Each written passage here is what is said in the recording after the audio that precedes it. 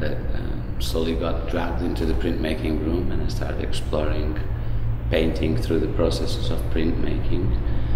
Um, and this happened about uh, seven to eight years ago, and since then I've been continuing to develop monotype mainly and the capacity of the material, the limits where they can go, and um, the capacities of the support as well when they when they break through the material, when when you know the, the plus and the minus, the, the borders that define these disciplines, and I operate on those peripheries, trying to enlarge the medium, trying to enlarge the practice.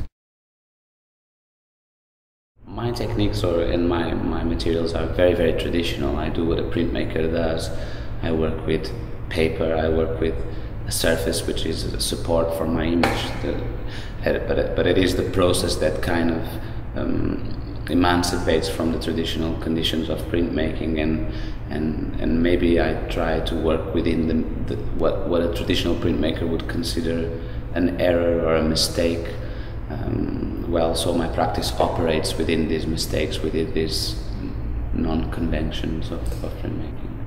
Lately, I've been putting less conventional materials through the press as, as dust sheets and plastic, um, and seeing how, how, how I can manipulate those materials going through the press and arriving on the other side without breaking the press or corrupting the actual piece of work. It's very immediate, the work. It goes through a press and it comes out on the other side. So in about 10 minutes, I can see the result of a painting. I just need to let it dry. Uh, so that leaves me uh, what I call a session, which is for me a day of work in which I will do many, many, many pieces of work most of it unsuccessful, some of it successful. But I can actually identify the work to a particular plate, to a particular day, which kind of categorizes them into series because today I might be using a color, tomorrow I might be using another color. Today I might I decided to use a particular paper, tomorrow a plastic, for example.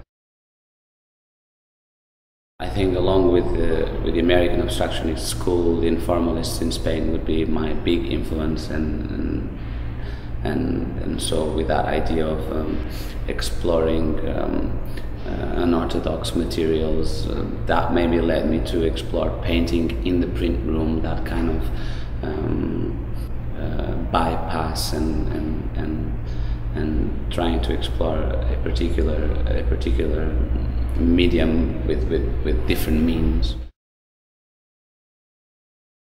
My experience of Manchester has been extremely positive. Um, I moved from Edinburgh to Manchester to, to, to start my MA, and, um, and so my life has been pretty much uh, in the studios, uh, in the facil- in the printmaking facilities, which is great to have um, complete access to, to such an array of of materials and, and presses of high quality. There's not much more than just work, work, work, work, which for me was a very, very good experience.